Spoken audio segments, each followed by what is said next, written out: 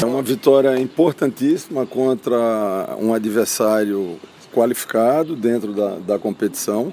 Né, com, com, talvez eu acho que o Ferroviário foi a equipe que mais liderou a competição. Né?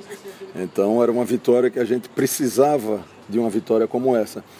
Mas eu emendo dizendo que é uma vitória que ela, ela já deveria ou já poderia ter vindo antes. Né? Quem viu nosso jogo diante do Santa Cruz e diante do Confiança é, é, eram coisas assim é, surreal. Né? O último jogo contra o Santa Cruz foram 16 finalizações dentro do gol e um jogo terminar 0 a 0 né? Então esse grupo ele não esmoreceu, né? acreditou, voltou para a competição e eu acho que o ABC hoje ele está no nível da competição. Né? Não, não, eu não vejo nenhum adversário jogando melhor do que a gente.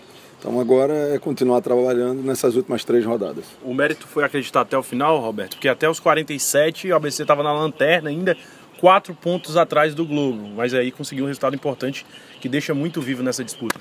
Não, sem dúvida. Eu tive uma, uma conversa com os atletas, não só o treinamento, mas uma conversa que, que não adiantava a gente não estar em sintonia. Né? E você vir jogar contra uma equipe que, que, que, que liderou boa parte da competição sem volante, né? É, é, é não, não é fácil. Né? A gente fez um, um, um armamos uma equipe num 4-3-3 com três meias e três atacantes, né? fora de casa. Então, quer dizer, é, é, é, o mérito foi todo deles porque executaram dentro do limite de cada um e foram merecedores do resultado. Você contava com, pelo menos tinha a perspectiva de voltar com o Ivan. Além de não contar com o Ivan, ainda perdeu o Richardson, teve que trazer o Mossoró numa posição ali na direita. Que avaliação você faz do desempenho do Mossoró e também dessas mudanças que foram obrigadas a fazer hoje? O Mossoró, eu acho que foi, foi um, um, uma das peças fundamentais né, na, na, na partida, né, porque ele voltou a jogar na posição é, que ele disputou o campeonato é, gaúcho. Né? Ele chegou aqui no ABC como atacante de lado. É, ele pode até fazer ali, mas não é a posição dele. Né? E isso a gente ficou com um meio campo com muita mobilidade, com qualidade. Né? Destacar a partida também do, do próprio Rosa. Então, assim, a equipe como um todo fez um, fez um jogo é equilibrado né? e eu acho que o, o resultado hum, foi, foi dentro daquilo que a equipe produziu. O ponto forte do ABC foi a, a raça de hoje?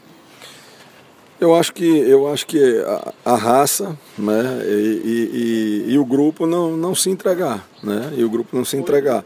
Se a gente está tá nesse nível de, de, de, de competitividade algumas rodadas atrás, eu acho que hoje a gente ainda poderia sonhar né, com, com, com uma classificação. Ô, Roberto, é verdade que teve uma reunião da diretoria, comissão técnica, familiares de jogador, fizeram um pacto para tirar o ABC dessa situação difícil? Ah, sem dúvida, né? Sem dúvida. O, o, os atletas é, vão passar quase que 11 dias fora de casa, são dois, dois jogos consecutivos fora. Né? Pela logística, não, não teria lógica de voltar né, para Natal. Então era importante né, a, a, nessa saída nossa de lá, né, sem nenhum clima de oba-oba, mas a gente está com, com todos imbuídos de sair. Não adianta os atletas estarem fora de casa e, e a família às vezes até enchendo o saco dos caras, né? Essa é a grande verdade.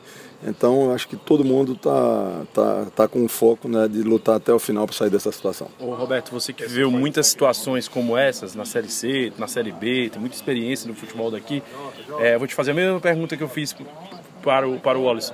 O que, é que você sentiu quando ele apareceu cara a cara com o goleiro num momento tão decisivo, 47, que pode ter sido o gol da vida do ABC na competição e um cara que é ídolo do clube, né? Cara, se eu te disser que essa situação aconteceu duas vezes em dois jogos cruciais, é, a gente vencia o Confiança por 1 a 0 e teve uma chance exatamente igual e perdemos. Fazia 2 a 0 matava o jogo. A gente vencia o Botafogo também por 1 a 0 tivemos uma chance exatamente igual, perdemos e acabamos sofrendo o um empate. Um é pouco, dois é bom, três é demais. Hoje ela tinha que entrar.